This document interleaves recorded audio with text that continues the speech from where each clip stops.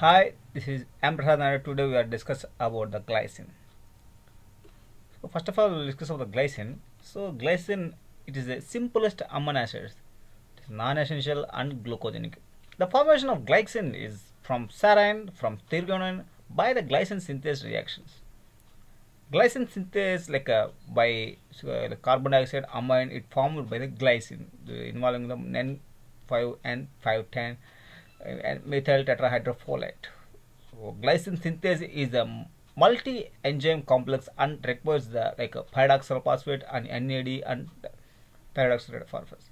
So multifunction like a meta it is metabolic function of glycine. Glycine is used by by, the, by uh, biosynthesis of like uh, heme, purine ring, creatinine, glutathione as conjugate reagent. Glycine is a neurotransmitter and neuromodulator functions glycine is a constituent of protein. So heme synthesis, coming to the heme synthesis, glycine in, uh, plus uh, glycine combines with the succinyl CoA, it forms the alpha linolenic acid by the involving of alpha linolenic acid synthase enzyme by the help of the pyridoxal phosphate. This is the this is the rate limiting step in the heme synthesis.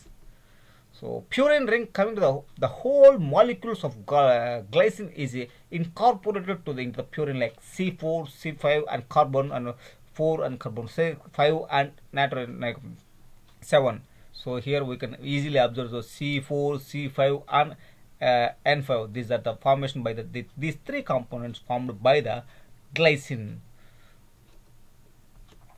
So coming to the synthesis of creatinine. So here is the arginine plus glycine so both combined with the formation of guanidoacetate finally this component of creatinine glycine arginine plus methionine. These are the three components formed by the creatinine. So ultimately final release of creatinine phosphate. Creatinine is reversibly phosphorylated to creatinine phosphate by the creatine kinase. It is stored in muscle as a high energy phosphate creatinine it is anhydride uh, of creatine. So it is formed by the like a cyclization of creatine. Serum creatinine is normal range is 0.7 to 1.4 milligrams per deciliters. In urine creatinine 1 to 2 grams per day Serum creatinine concentration is not influenced by the endogenous or exogenous factors, so used as a more reliable indicator of renal functions. Synthesis of uh, uh, glutathione. So here is a glycine. Here is required from here. So here is ultimately gamma glutamyl glycine. That means glycine is involving of synthesis of glutathione formation.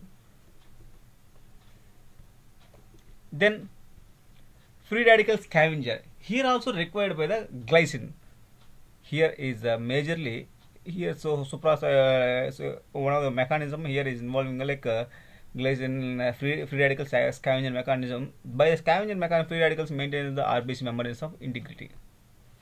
So involvement of amino acid transport in Meister cycle insulin inactivation and also hepatic insulin glutathione transhydrogenase insulin like alpha beta chain and to it is formation of alpha and beta chain the linkage between the disulfide bonds. So activation of enzyme many enzymes having like sulfhydryl uh, sulfur in uh, active active site or capped in the and uh, active site for glutathione so these are the enzyme one of the involving of glyceraldehyde and 3 phosphate dehydrogenase. So methemoglobin glutathione is necessary for the uh, reductions of the methemoglobin ferric form to normal hemoglobin ferrous state the methemoglobin is cannot transport to oxygen. Conjugate agent conjugating like agent it is used from the conjugating bile acid so there um like amphipathic property is increased. So cholic acid plus uh, that means combined with the glycine so formation of glycocholic acid. The cholic acid combines with the glycine the formations of glycocholic acid glycine combines with benzoic acid the formations of benzoyl glycine and that is also called as hippuric acid. Glycine is a neurotransmitter we already told about the glycine is a neurotransmitter and neuromodulator functions. So it is a major, major majorly so it is a neurotransmitter in the brainstem and spinal cord. At a moderate levels it disrupts uh, neuronal traffic but at very high levels it causes of over excitations glycine as a constants of proteins. So it is seen where the polypeptide chains bands are turners. In collagen, every third amino acid is glycine. So today we are discussing about the how hemoglobin synthesis occur, the what are the glutathione compounds and for okay, glutathione formation and uh, creatinine uh, mm, formation and conjugating ingredients like, like uh, bile acid formation. So the also glycine neurotransmitter functions. Today we will discussing about the glycine functions and metabolism. So those things. Uh, compounds and functions and all the related about the glycine. Thank you.